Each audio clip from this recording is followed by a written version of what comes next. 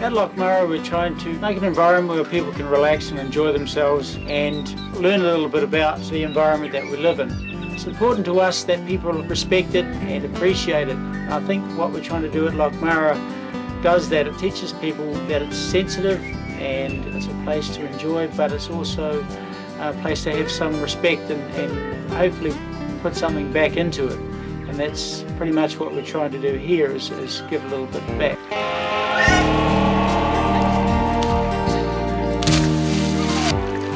When you come to Lochmara, you come to an environment that's quite special, a blend of nature and it's a blend of art.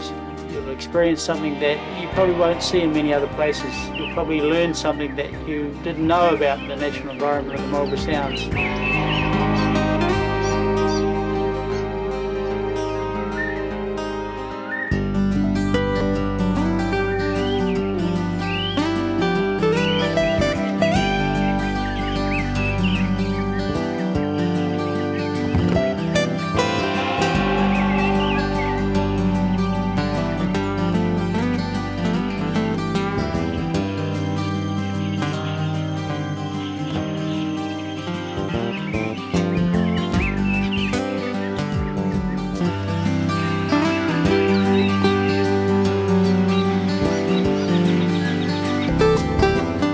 And see us out at Lochmara Lodge. I'm sure you'll be impressed. Come and see us anytime soon. You'll be more than welcome.